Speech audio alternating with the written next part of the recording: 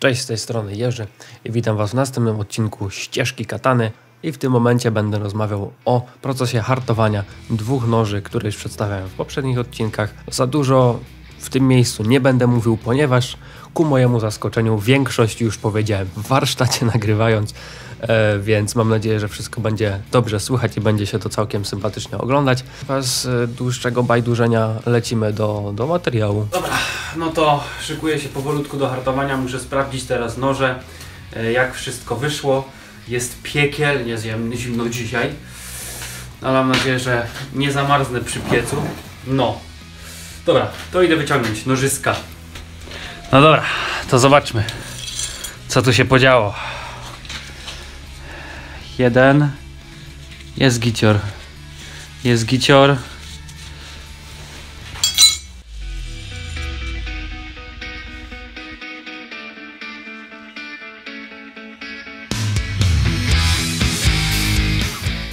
Dobra, to noże sprawdziłem, wszystko jest gicior, fajnie, sympatycznie wyglądają, nic tu się z nimi złego nie podziało, e, może je delikatnie przetrę papierem ściernym, no i będę się już zajmował, zajmował hartowaniem, muszę rozgrzać piec, wszystko uszykować i jeszcze troszkę lektury sobie przypomnieć i ogarnąć dokładnie jak wyglądała kwestia temperatur i jeszcze zobaczyć jaki czas będę musiał wygrzewać na te na te akurat wielkości tych noży, ile będą potrzebowały siedzieć w temperaturze. Więc to wszystko muszę sobie przypomnieć, przygotować. No i potem stresujący moment. Żałujcie, że nie widzicie, ale mam tu cztery małe kociaki, które skaczą po stołach.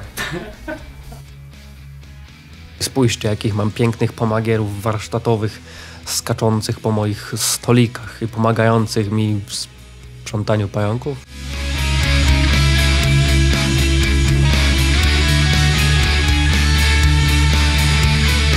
Ale no prześliczne są. No. Tylko delikatnie zedrę ten nalot, który się tutaj pojawił z góry. I teraz potrzebuję sprawdzić sobie grubości, mniej więcej. 3 mm to 2 mm, więc będą trochę inne, e, inny czas e, wygrzewania. Przy hartowaniu, w, w wygrzewaniu stali chodzi o to, że jeżeli dobrze pamiętam, bo to znowu y, teraz strzelam z, y, z pamięci. Chodzi o to, żeby struktura metalu z martenzytu przeszła w austenit i żeby tak się stało, no to potrzebujemy czasu, żeby węgiel, jakby węgiel się nie wypala, ale się rozpływa po strukturze stali. Z tego co się orientuję i z tego co pamiętam. I mam taki cytat napisany po jakimś chyba filmie kosiarza, więc ja mu ufam.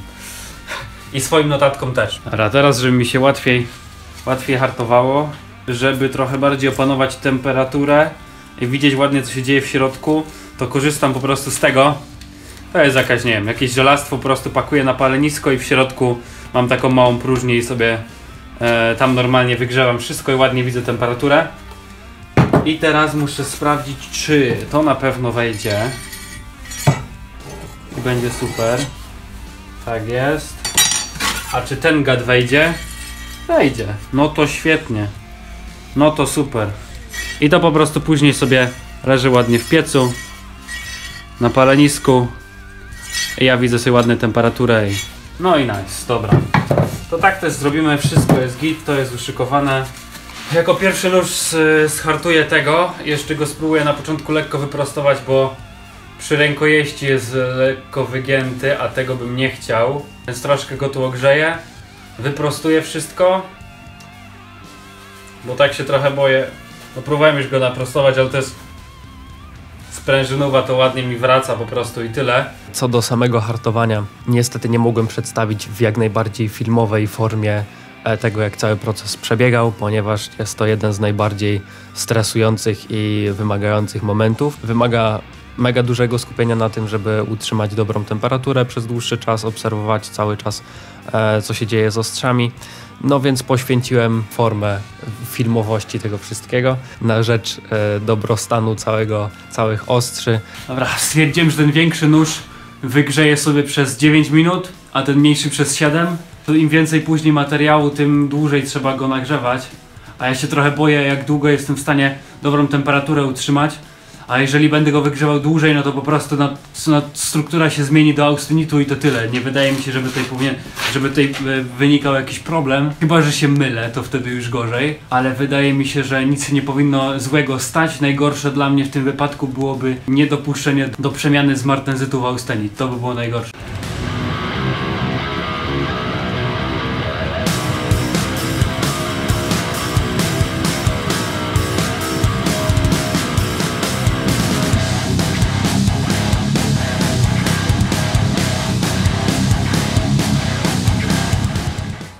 Temperatura hartowania stali sprężynowej to jest e, 860 stopni, czyli mniej więcej gdzieś tak kolor czerwieni pomarańczy. Tyle udało mi się zyskać.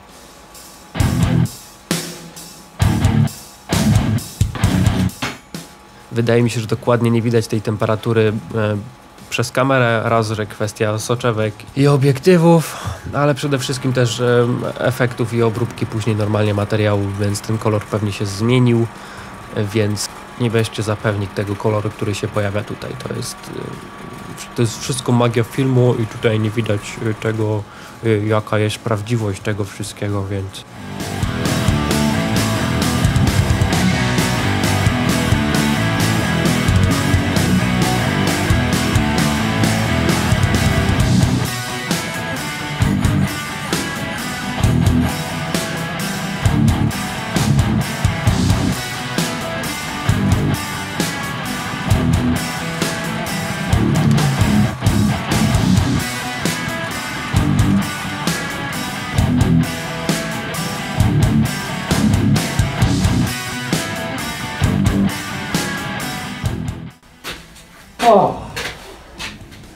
Dobra.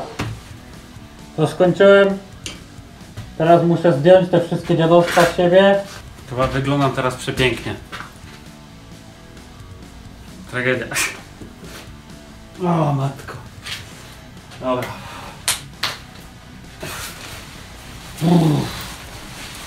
O matko. Ale chyba wszystko się udało. Mam nadzieję, że będzie gicior. Nie wstępnie jak spojrzałem to wszystko jest ok. Nic nie pękło.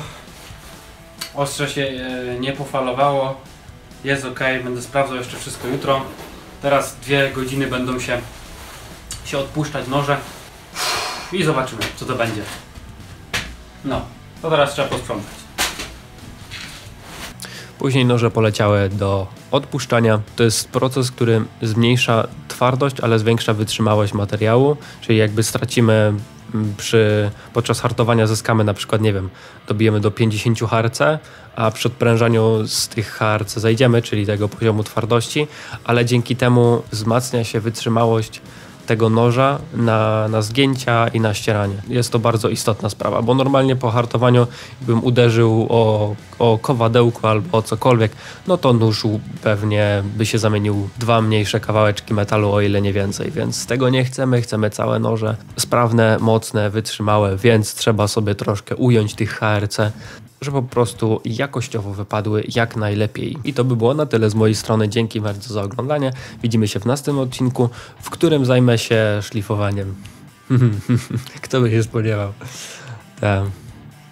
Ale oprócz szlifowania będzie także element klejenia rękojeści. A to wszystko już jakby co zrobiłem i już wstępnie mam przeszlifowane ostrze, ale to wam dopiero potem pokażę. A ostrza leżą tam kawałek ode mnie, ale tu wam nie pokażę teraz tego. Nie.